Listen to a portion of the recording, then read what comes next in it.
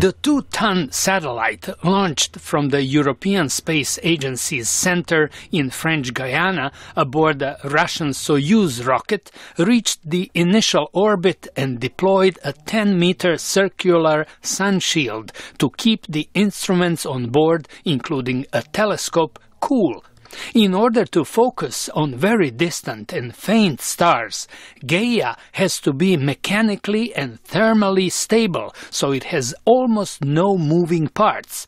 Mark McCaughrean is the mission's chief scientist.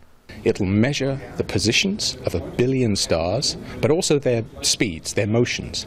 And with that, we can run a movie of the Milky Way. We can run it forwards into the future, how the Milky Way will develop by looking at all the stars and how they move, but we can run it backwards as well, and we can see how the Milky Way actually formed in the first place.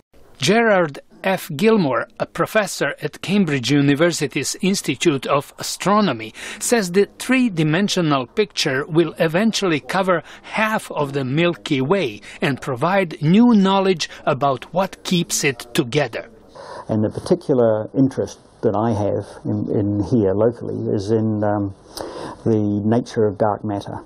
What is dark matter made of? So dark matter is most of the weight in the Milky Way. It's dark matter that holds the Milky Way together. If there weren't all this dark material, but our sun would fly off away from the galaxy, the whole galaxy would fall apart. The Gaia satellite will be moved to a distance of 1.5 million kilometers from Earth to a gravitationally stable point called L2, where it will start its five year mission of taking approximately 70 images of each star in our galaxy, building a catalog of about 1 billion stars. L2 is also designated as the parking space for NASA's super sensitive infrared James Webb Space Telescope, scheduled for launch in 2018. The overall cost of the Gaia mission is around $1.3 billion.